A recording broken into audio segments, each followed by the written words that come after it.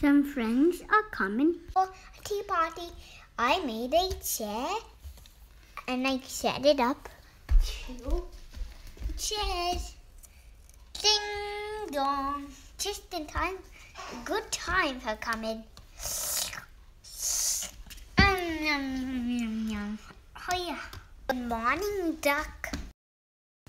I use icy wood pieces and I use plates, C and points in them. And I also use sticks and balls. And for the chair, I didn't use balls on the bottom. For the table, I did. See? And how does it work? And also, the the table has four plates, and the chairs have two plate, one plate. You can use how many plates you want. I use four plates for the table. And now it's black, but it's going to be white soon. I show you. It's white, see?